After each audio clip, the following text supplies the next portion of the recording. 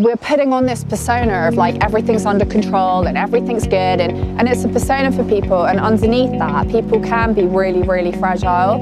And because we live in this society where, you know, we're just in the beginning of starting to talk about like mental health and like making that okay to talk about, what we have to remember is this.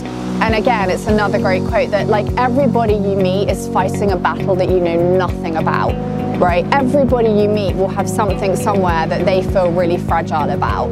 And that's always a really important thing to think about when you're communicating with people and to be, you know, as kind as you can possibly be.